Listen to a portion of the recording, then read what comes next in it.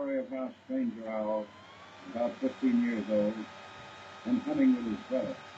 The dog had lost his life in capturing a buffalo calf.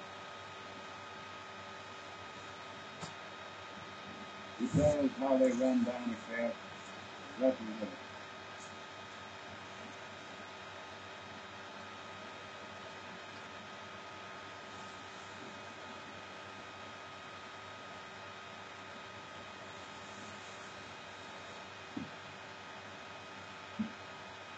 Calf was panting, called for help. The old cow came to the rescue. A long struggle followed.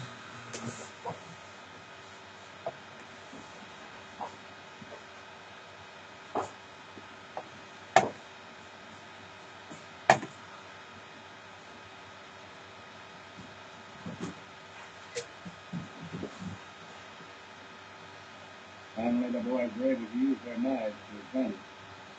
Situation saved by a hair's. I tell you, it was a narrow escape.